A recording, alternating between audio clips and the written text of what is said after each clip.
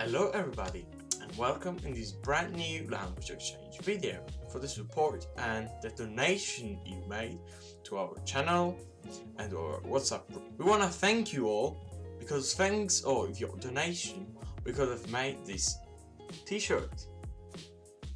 This is for Dom. That's mine. We wanna thank you everybody for supporting us and just stay tuned on, our lessons and join us on WhatsApp. This is free. Today's lesson is gonna be about a massive vocabulary for jobs and some new special sentences just to improve your speaking, thinking and vocabulary. Immediately start with meccanico. Meccanico ripara le macchine. Mechanic repairs the car. It's very useful when you are in the middle of Italy and your car stops for, I don't know, maybe a tree falling down or just a problem inside the car, and you need to call the mechanic, and that ones will protect us from criminals. That is called the police. But here, two different kinds of police, carabinieri e polizia. Chiamate la polizia! The others will protect us from fire and usually says cats on the trees, the firefighters, i pompieri. Il mio gatto sull'albero, chiamate i pompieri. Don't call the firefighters for a cat on the tree. Dottore, the ones we say is lies. Even though I don't appreciate at all Italian Italian healthy system, but anyway, dottore. Medico, I'd say. Infermiere, nurse. The others will protect us are soldier, soldati. I soldati vanno in guerra.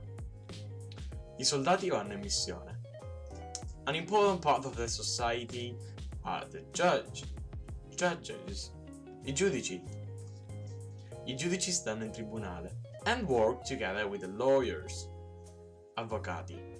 Devo chiamare un avvocato. By the artistic way, we call them musicians. I musicisti, quali sono chitarristi, trombettisti, flautisti. It depends on the instruments they are playing. And also we got special jobs. But the scientist is really important for the society to bring up new technologies and to cure diseases. Lo scienziato. Lo scienziato fa delle ricerche. And we pay scientists, mostly, yeah, the institutions or businessmen. Uomo d'affari, but always checked out by the, president. Presidente.